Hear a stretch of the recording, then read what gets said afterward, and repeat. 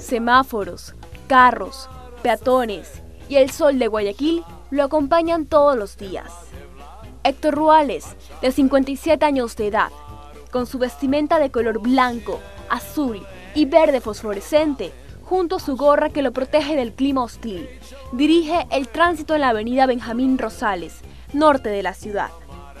Él lleva más de 20 años en este oficio, pero ¿cómo empezó esta aventura? Bueno, yo me acuerdo que salió un, eh, anuncio en el, universo, en el diario, salió en el diario y de ahí tenía yo 20, iba a cumplir 23 años. Iba a cumplir 23 años, eh, comencé a entregar todo lo que es los certificados, llevé mi carpeta, me seleccionaron, inmediatamente me llamaron, tuve un año de curso y a los 24 años ya recibí el grado de vigilante. ¿Qué tan difícil puede ser dirigir el tránsito en la urbe porteña? Altas temperaturas o lo que es peor, horas pico. Pero para él no existe ninguna dificultad, siempre y cuando el misterio esté presente. ¿Cómo? ¿Qué? ¿Usted ha sido también miembro de la comisión? Sí, le digo, yo soy vigilante, le digo, y cada, en mi tiempo libre me dedico a ser mago. Bueno, eh, hace mucho tiempo, eh, ya son en la actualidad casi son 47 años como artista.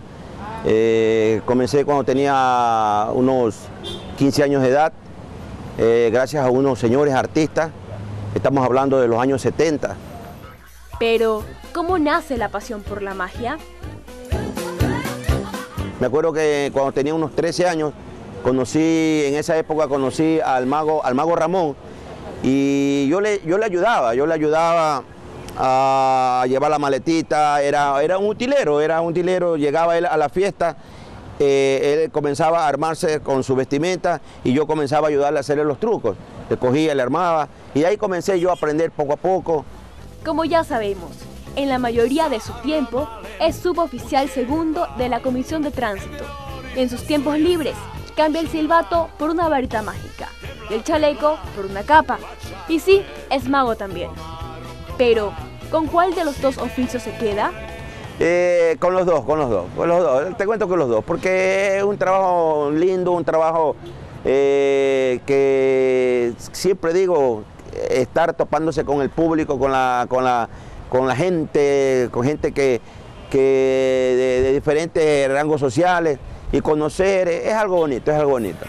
Y al son de Sin Salavini, descubrimos a un personaje con diversas habilidades, conocido por su gran trayectoria, que sigue cautivando a grandes y chicos.